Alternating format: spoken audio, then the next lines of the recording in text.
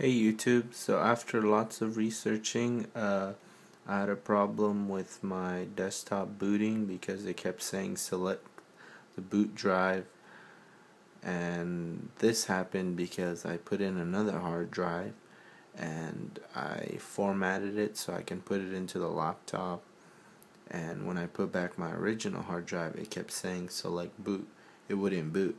Now, don't go and trying to reformat it and try to put a new operating system because that's the mistake I made the first time around.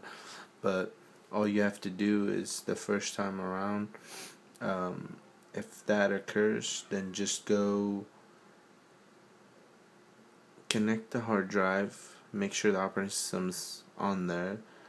Uh, go when you turn on the computer either press F8 or the delete not the backspace the delete button press that until you go into your BIOS settings when you get into your BIOS setting look for a button that says default settings you want to if you had customized something in there like turbo mode or whatnot just click on the default just to get just to give you guys clear view of what I'm talking about. Here, let's just.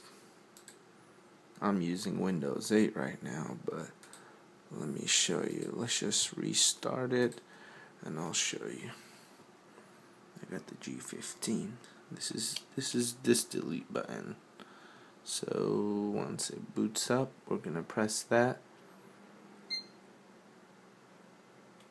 Alright, so it says press delete that's my BIOS setting right here. Alright, so for me it's quite easy. It's just down at the bottom right here. It says default. So you you wanna oh, you wanna just press on that and then it says load optimize default and then you press OK.